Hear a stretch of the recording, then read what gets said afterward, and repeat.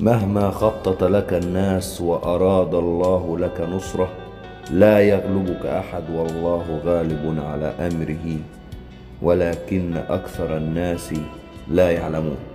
تعامل مع ربك لأن الذي يقدر هو الله ونعم بالله. فإنك دائما لا تحمل هم أحد لا تحمل هم حياتك هم رزقك. لأن الذي فوق عرشه يكلأك يحفظك يرعاك.